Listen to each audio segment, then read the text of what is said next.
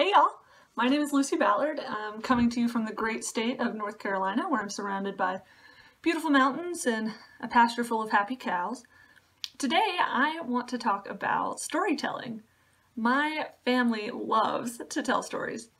When we all gather around the dinner table, especially during Christmas or Thanksgiving, it's hardly five seconds before someone is reminiscing about a funny thing that happened way back when. And my dad is actually the best of us all. He is just this endless trove of stories, some silly, some miraculous, some heartbreaking. But we'll beg him to tell one of these stories, you know, about the time, for example, he and his youth group was hiking in the mountains and they were miraculously saved uh, from a blizzard. Or, you know, the, the day my baby brother was born. Stories like that. But over and over again, we'll tell these stories year after year, and yet they give us the same feelings, the same emotions, sometimes the same belly laughs um, every time. It's this kind of ritual that we repeat. Um, and it really leaves all of us, my brothers, grandma, you know, all of us, the whole crew, really feeling connected with one another and more grounded in our shared history as a family. And maybe your family and friends do the exact same thing. Um, in fact, maybe you're the family storyteller. But I have a question for you.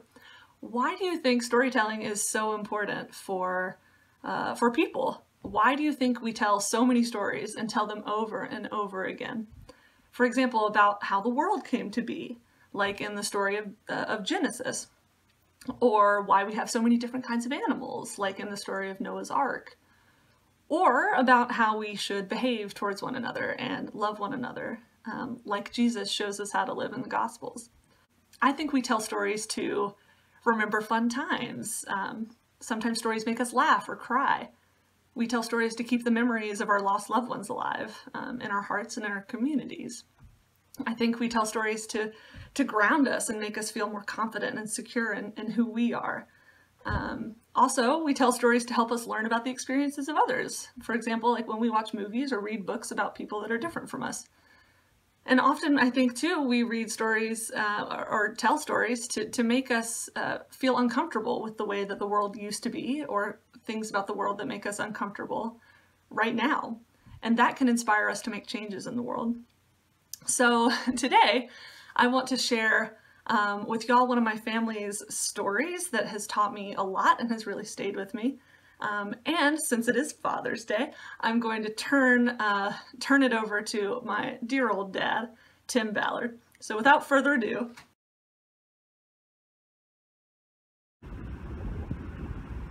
My grandma and grandpa met each other back when she was a flapper and he was visiting gin joints. They knew each other a long, long time and were married for 40 years. When he got sick in his 70s, she basically took care of his every need every day for a year or more. When he passed away, my grandma, who always was a cheerful, happy, optimistic, see the best in the world kind of person, went into a really deep funk to the point where my mother and sisters, her sisters, took him, took grandma to a uh, mental health facility because she was just so deeply depressed. And uh, she was that way for a good year, just not herself. And um, we didn't really know what to do about it. So we went down to her house on Sunday for lunch, like we did three month, three uh, times a month. And she was her old self again. She was chipper and funny and carrying on like she always did. So we asked her over the table, "What, uh, what's up? What's happened to you? What's going on?" She said, "I'm gonna tell y'all a story, and you simply are not gonna believe it." Um, but I know that it was true.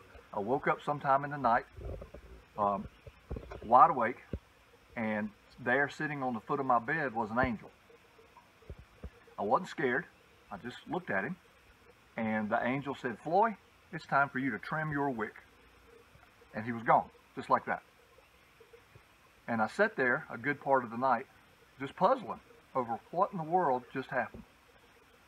Sometime along in the wee hours, I fell back to sleep, and when I woke up this morning, I knew what the angel meant.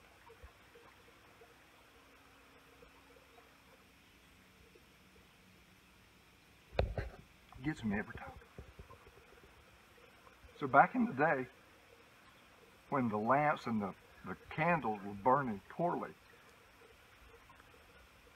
our job as children was to go out, clean all the globes, trim all the wicks back, and clean the globes. And when you did that, it made your lamps glow brighter. And all of a sudden I knew that I had not let my light glow. She said, true story. And who am I to doubt? Angels.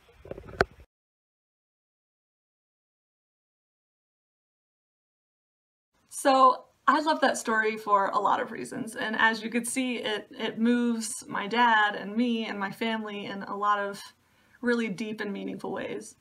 But I wanted to focus a little bit on this idea that he talked about in the story about trimming your wick.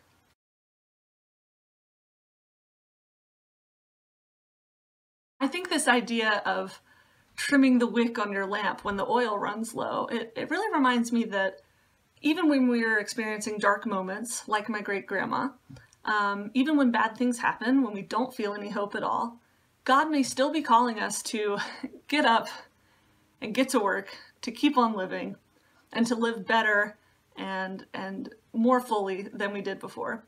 Um, to really trim our wick and shine our light once again. Um, just like in Jesus' parable about taking our light out from under that bushel um, and really shining it for the world. And another way this story really um, is meaningful to me is that this story actually teaches me to love stories and to want to tell more stories. Um, I think it's not only important to listen to stories, but to be empowered to tell our own. Um, each of us has a story to tell. We all have different lives and unique experiences. And in fact, across history, it's often been young people who have found their voices and led their communities to becoming more welcoming, more just, more inclusive, more loving.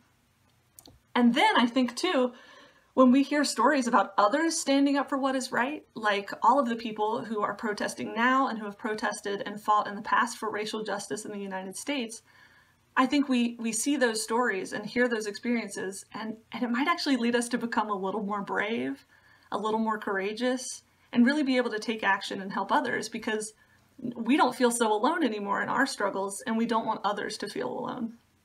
So now that I've heard this story again today, um, maybe stories of other people being strong and courageous are kind of like that angel that visited my great grandma, telling us to, to rise up, to shake off those feelings that keep us down, and get in the way of us making a positive impact in the world, and to really start fighting for what's right and, and to live right. What stories will be told about the time that we're living in now? How will you tell your story? Or the story of your family, the story of our church at Harvard Epworth, the story of our nation?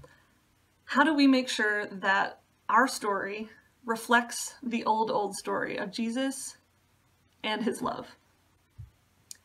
So today, as we celebrate all the dads out there and all those who have loved and been father figures to to people throughout their lives. Uh, maybe you and your family might tonight or this coming week share a couple of those great old family stories, some of the goofy and silly moments, moments of triumph, moments of failure, memories of friends and family. And maybe too, you might seek out a new story from someone uh, who is different from you, one you've never heard before, maybe in a book or a movie or a news article.